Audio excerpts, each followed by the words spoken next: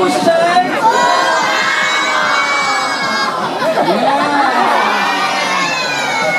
那当然喽，今天我们很高兴说 k u m a m o 来到我们台湾。的这次会。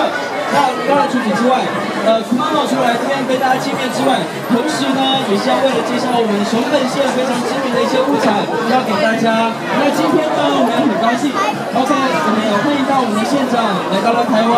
那我们先请我们县长跟大家讲几句话。那么欢迎辅导县长。